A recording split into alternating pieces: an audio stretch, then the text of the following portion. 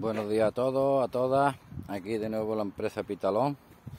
Acabamos de terminar de poner la tela, siempre labrando para, para que salga la cosa más económica posible. Aquí hemos terminado de poner estas telas alrededor del invernadero, como ya veis. Resulta de que un día de jornada quitando hierbas equivale al precio pues de 200 metros de tela aproximadamente de un metro. Se pone una vez, se pierde un poquito tiempo. ¿Y qué sucede? Pues que ya no hay que estar con los jornales perdiendo tiempo, quitando hierbas para que se vea la cosa lo más curiosa posible. Aquí aprovecho para decir que ya sabemos cómo se cómo se pone el alambre, cómo se, se cose la tela al alambre. Ya, ya pondremos otro vídeo cómo hacer las cortinas de subir y bajar para la tela antitri que le va muy bien el invierno para no tener que cerrar el invernadero al completo, es un peligro, ya dijimos que nunca se debe de tener el invernadero al completo cerrado, puede venir esporádicamente un calor fuerte y en dos horas ha quemado toda la plantación. ¿eh? La tela antitri va muy bien para el invierno porque a partir de un metro y medio, dos metros ya no deja de salir eh, no deja de pasar el aire. Entonces para el invierno viene muy bien, no se cierra el completo, como ya hemos dicho, y ya diremos la manera de coserlo arriba.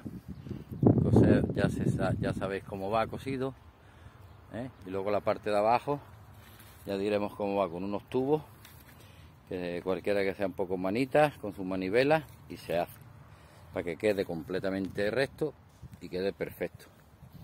Aprovechamos aquí las telas, como ya veis, telas que sobran del interior al hacer dobles calles le hemos puesto unas pencas.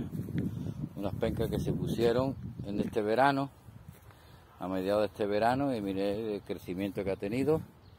Esto solo se está regando con humus de lombriz. Humus de lombriz por supuesto siempre mirando el pH con su ácido nítrico que al mismo tiempo es nitrógeno. Pues ya veis la plantación de pencas cómo va. Esto es una penca real le dice una penca real. En Cuba se le da otro nombre, la imperial. ¿eh? Y aquí tenemos nuestro pequeño penca, que ya empezaremos a, partir del año que viene a sacarle planta. Aquí veis cómo está, con su tela para no tener el trabajo de la hierba. ¿eh? Y aprovechando cualquier rincón del terreno, que todo es para que sea productivo aprovechar todo lo que se pueda. Aquí veis por aquí los tamaños que, han tomado en menos de un año, porque esto haría un año en mitad del verano, que fue cuando se pusieron. Aquí las veis, con su tela puesta, su riego lo lleva debajo para darle una ayuda en el mes de agosto, septiembre, para que no paren. Entonces, meter el goteo en el verano quiere decir que adelantan pues de uno a dos años en un transcurso de, cuatro o cinco años que, que serían lo normal. Aquí tenemos la imperial, ahí tenemos una que es muy temprana, va a tener varias, varias clases. Una que es más temprana, por lo menos casi un mes, y tener cosecha pues, pues de principio hasta final de, de cualquiera que pueda tener. Le hemos dado la vuelta entera el perímetro de la finca. Y trabajamos pues de 4 a 5 variedades. Aquí las veis. Y hasta los próximos vídeos.